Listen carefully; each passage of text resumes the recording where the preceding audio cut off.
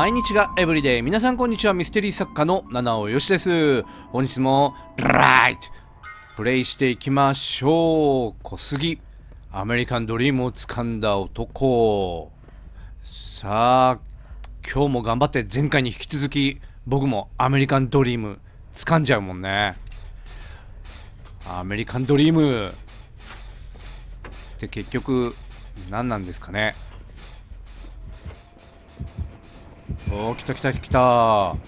おお今日のお客様はトラッパーさん28歳ソーシャルワーカーの方。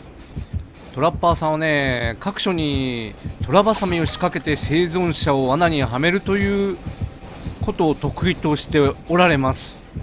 さあメグちゃん今追っかけられてますね。さあ今のうちにああやられちゃったか。これはもうレスキューに行きましょうかね。あーすぐそこだ。え見つかっちゃうかな。やばいやばいやばい。来るかなこれ。いやこっち来るよね。見つかっちゃうよね。おおさあレスキューに向かいましょう。さあお姫様助けに来ましたよ。トラバサメに引っかからないように注意して。さあ逃げるよめぐちゃん。めぐちゃんその衣装さ目立つんじゃない？大丈夫？ちょっとどいてどいて。よいよ引っかかる引っかかる。めぐちゃんめぐたそう。大丈夫か？めぐたそう。おーっとこっから逃げられないぞおい。あははあめぐちゃんまだそこにいたのかい。どうしようどうしよう。わあめぐたそがやられちゃった。下か。ここ地下室があったっけ？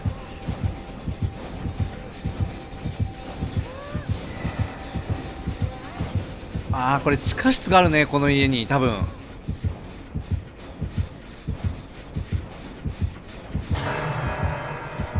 あーやっぱり地下室ありますね。やばいやばいやばいやばい。これ来るかな？あ来た来た。発電機を壊しに来たね。何？ああドラバサミを仕掛けると多分窓に窓の出入り口の窓にトラバサミを仕掛けたんでしょうな。で窓から出てったわけね。でメグタソは地下室。とりあえず助け行きましょうレスキューにね。急いで急いで。メグタソ。じゃなこれはクロちゃんじゃないか。メグタソはうまく逃げたんだね。さて2回行く？いや気をつけて。あーなんてこと。あらららららららら。いやトラッパーさん読んでますね。生存者の心理がよく分かっている。クロちゃんは再び地下室へなので私も再び地下室レスキューに赴くことになると思われます。いや全然発電機の修理が進まない。また来るんじゃないかなこれ。戻ってきて。あーまた今度はそこに仕掛けましたね。そして窓から出てった。あーこの罠はね草むらに入ると見えなくなる黒いタールの罠ですね。どうしようかこれ解除しとく？いやーどうこれ解除一応しちゃいましょう。さあすぐにレスキュー。いや今ので来ちゃうかな。まあとりあえずもういいやいいや。レスキューしちゃいましょう。逃げるよ。ごめん。もしかしたら逃げられないかも。あーごめん。逃げろ逃げろ。やばい俺竹になってるかな今。あーなんとか。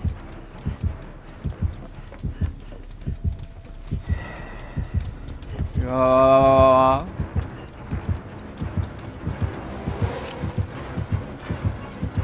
いやどうこっち来るかな来ないで。さあ修理はね他の人たちがどんどん進めてくれているのであと3台。さてと治療に行きますかね。来るかな？間に合うかな？おめぐちゃん。あーなんてここで失敗しちゃダメよ。よし逃げよう。逃げよう逃げよう。どっから来る？見えないわからないわからない。どっから来るかわかんない。とにかくみんな逃げてくれ。さて私はね修理進めていきます。おおナイス修理。いやーみんないいね。どんどんどんどん修理を進めている。あっという間にあと2台。さて僕はねここの修理をね完了。うわー向こうでトラバサミ。いやーとりあえずね私ここの修理進めていきます。あとちょっと OK さあもうあっという間にねあと残りは1台とはになりました。さて残り1台の発電機はどこにあるんだい？ No One Escape の可能性も高いからちょっとねトーテム壊しておきましょうかね。アメリカンドリームといえばねなんかそういえばね今日だったかな？東大が今年の受験の状況を発表してましたね。で驚いたのが理科一類かな？理科一類でセンター入試の最高点が900点。つまり満点がいるんですよ。満点取ったやつがいるんですね。すごくない？八神ライトとか L みたいなやつがいるんですねリアルに。満点はすげえわ。よっしゃめぐたそ。うさあいや逃げよう。くるくるくるくるくる。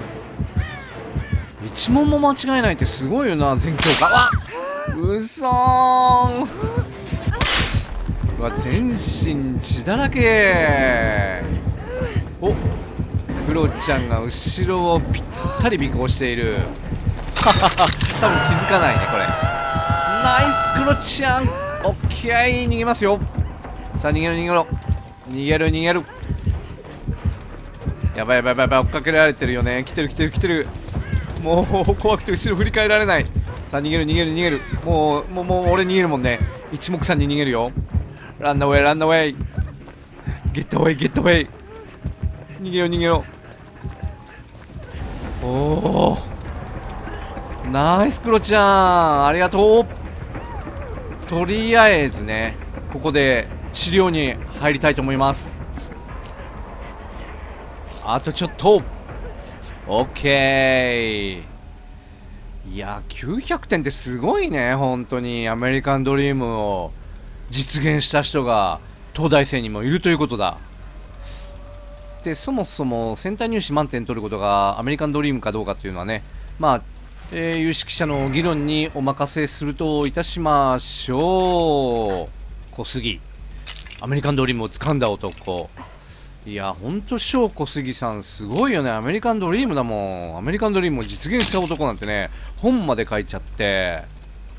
いやいや私もねアメリカンドリーム実現したいですよ。で今年はねあのー私作家としてそこそこ作品を書いてですね何冊か本に刊行したいと思っております。ナイス！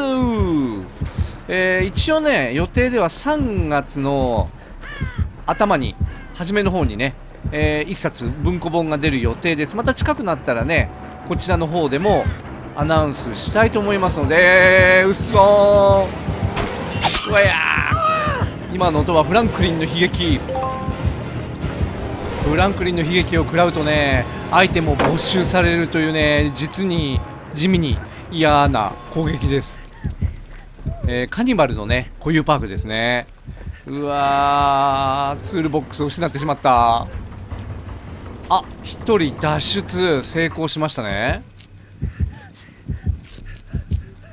いや近くに。まあとにかく脱出ゲートは開いたようなのでもうね脱出しちゃいたいと思います。だって怖いんだもんもう。最近ねあのーゲームをプレイさせていただいて10試合でだいたい勝率は2割から3割ぐらいだね。10回やって2回から3回脱出できるかどうかといったそんな程度です。さああ黄色いもう来。でこれ僕のやつかな？落としたやつ。どうだったっけ？あーいや行かれてしまいましたね。そしてめぐちゃん。一撃食らっときましょうかね。はいよ。はい来てちょうだい。来るよ来るよ。まご挨拶に一撃いただいておきましょう。あ忘れてた。フランクリンの悲劇持ってたんじゃんうわ。せっかく拾ったツールボックスをまた失ってしまいました。何のための一撃だったんだ。アホらしい。というわけでねアメリカンドリームを失ってしまいましたけど脱出ができましたのでまあよしとしましょうかね。ああそうそう先日1週間ぐらい動画をアップしなかった時があったんですけどあれなんでかっていうとね 見事にインフルエンザにかかって寝込んでおりました。だから1週間ほど動画がアップできませんでした。いや今年のねインフルエンザはあんまり熱が上がらないんだよね。最初はね僕もね熱が37.8度とか、まあ、そんなもんだったんですよ。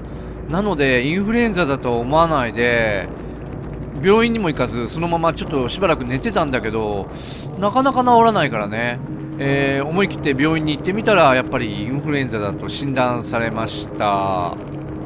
というわけで皆さんもインフルエンザには十分にご注意ください。はいというわけで今回はここまでにしたいと思います。ご視聴ありがとうございました。それでは皆さん Have a nice day バイバーイ。もしこの動画を気に入ってもらえたら高評価をお願いします。チャンネル登録は下のアイコンをクリック。iPhone やスマートフォンの場合はタップしてください。よろしくお願いいたします。